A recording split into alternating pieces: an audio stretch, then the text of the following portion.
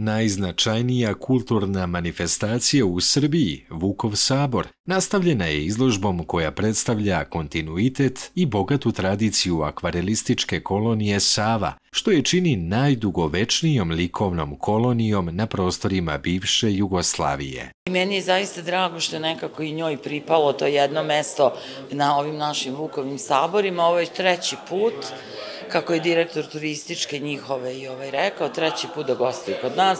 Njima je naravno takođe vrlo značajno, to su naši ljudi iz Republike Srpske koji rade te divne stvari i mi smo to prepoznali i taj njihov kontinuitet do 45 godina je vrlo značajan i zaslužuje i svoje mesto, naravno i na Vukovom saboru.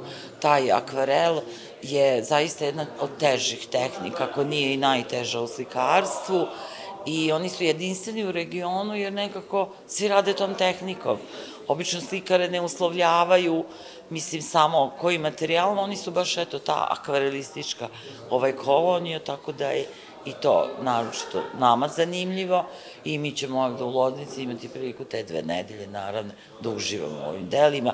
Kao što je i rekao kolega moj, te e, sastav, kao i svake kolonije, jako je dobro da budu i različitih ovaj, godina, godišta, jer ta neka iskusa, naravno, svako ima ovaj, svoja različita, pa se to uvek u toj nekoj interakciji, naravno, ovaj, oni prožimaju i svako nešto novo ponese sa sobom. Likovna kolonija Sava traje 40 godina i broji više od hiljadu akvarela. Evo, po treći put u Loznici, naša akvarelistička kolonija Sava iz Broda Ovdje imate priliku da vidite 36 akvarela naše prošlogodišnjeg saziva, znači 44. likovne kolonije. Ove godine smo imali 45. saziv, ali o tome iduće godine, ako Bog da četvrti put u Loznici. Drago nam je što smo ovdje, ovdje smo uvijek dobro primljeni, već treću godinu za redom. Zahvalio bi gospodinu Dragu Simić, Dragi Simiću i gospođu Snježanu Simić što nas e, u svaki put pozovu, a Drago je takođe i ovaj, već nekoliko godina učesnik naše kolonije, tako da je to ta veza.